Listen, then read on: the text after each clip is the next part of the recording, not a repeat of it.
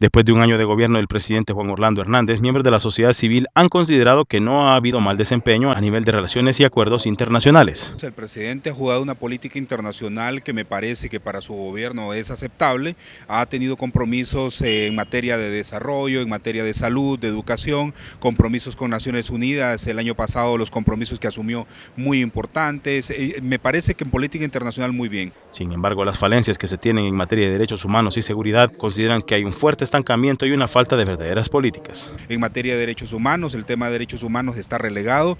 Una subsecretaría de Estado que su atención prioritaria no está siendo identificado con los temas más álgidos. Entonces yo creo que el presidente de la República tiene que hacer un balance importante entre la correlación de trabajo a nivel internacional y a nivel interno. Independientemente de toda la campaña mediática que él monta y además se ve una manipulación política del asunto. Por ejemplo, lo último fue la Policía Militar del Orden Público. Ahí no encuentra técnicamente ninguna respuesta a los temas de seguridad, más que el tema de manipulación. Por otra parte, los desaciertos de la política y gestión gubernamental han estado marcados por algunos programas de asistencia social, porque los mismos no han sido entregados como debe ser según grupos de sociedad civil los ecofogones, eh, los bonos, eh, todas esas transferencias monetarias, no resuelven el problema de, la pobreza en Honduras, no lo han resuelto a pesar de las enormes cantidades de recursos.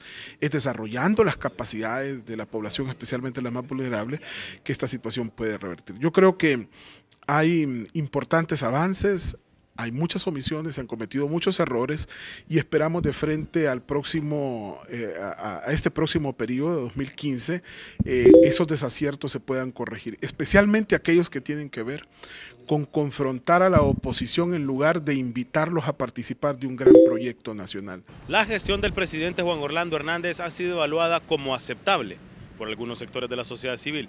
Sin embargo, hace falta mucho y este 2015 será un año de retos para la presidencia de Hernández Alvarado. Con cámara de Efre Guevara para Notifide les informó Marco Calix, recordándoles que nosotros fomentamos una cultura por la paz.